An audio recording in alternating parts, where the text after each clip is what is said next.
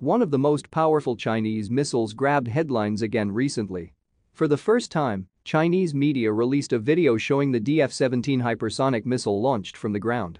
The Dongfeng 17 is a medium-range hypersonic glide vehicle missile system. It is possibly the first hypersonic missile deployed to an active service unit in the world, which caused a huge tumult in the US government and military.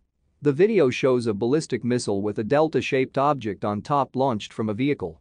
The shape is not mistakable, clearly that is a DF-17 hypersonic glider. The US does not have any hypersonic missiles in service, and Russia has not proven what it claims to be a similar weapon for combat duty. Therefore, this is likely the first time we see an active service hypersonic missile launch in the whole world. The most unique advantage of the DF-17 is its ability to counter missile defense systems. A hypersonic glider is not only faster than a cruise missile, but also highly maneuverable at the edge of the atmosphere, making it a lot more agile than a traditional ballistic missile. This is a combination that can defeat every anti-missile available at this stage. In short, the DF-17 leaves enemies with little time to react. The DF-17 would be the spearhead of the first wave attack from China against any major opponent, punching a hole in enemy defense system, especially paralyzing anti-missile defense system, long-range radar and command center, enabling traditional ballistic and cruise missiles to attack without much resistance.